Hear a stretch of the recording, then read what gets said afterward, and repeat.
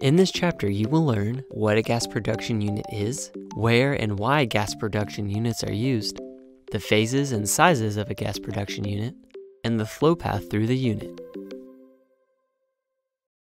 A gas production unit, or GPU, is actually two pieces of equipment joined together inside one housing, a line heater and a horizontal separator. To be sellable, gas must be at a certain pressure and must be dry.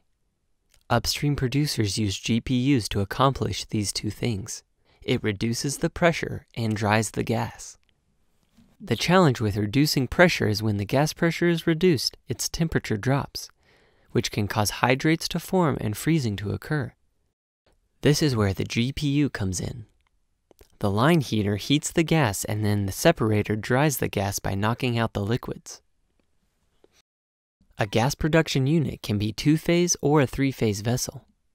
A two-phase vessel separates gas and liquids and is most often used in dry gas applications. A three-phase GPU separates gas, water, and oil. The separation is accomplished in the high-pressure horizontal separator side of the vessel. The size of the GPU needed will depend on the expected flow rate. This chart shows the common sizes and the gas flow rates that it can handle. This will be useful when sizing Kimray products to be used on this equipment. The coil will be rated to 3000 psi or greater, and the separator will have a working pressure of 1000 psi or more. The high pressure well stream coming into the line heater of the GPU is heated to accommodate the large pressure drop that will take place. A line heater consists of a fire tube and two sets of coils inside a water bath. The fire tube, controlled by a burner management system, heats the water bath. The coils containing the well stream then run through the water bath. This heats up the well stream.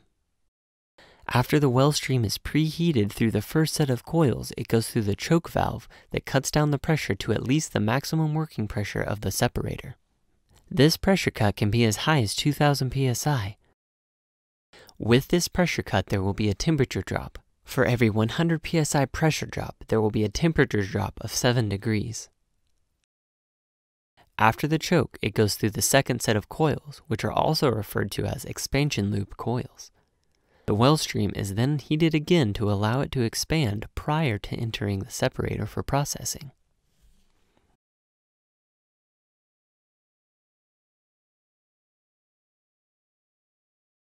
Each of the separated components of the well stream will then go to storage, pipeline, or more separation equipment. In a three-phase vessel, the water will go to a disposal or storage. The oil will either go to sales or continue to another vessel for further separation, and the gas will go to a meter run where it is measured and sold. This concludes this chapter. Thanks for taking this training.